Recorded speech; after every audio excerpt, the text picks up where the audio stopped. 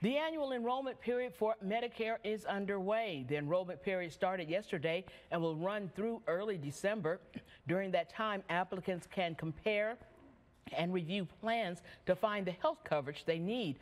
Again, enrollment is currently open and will run until September 7th. You can compare options on Medicare.gov.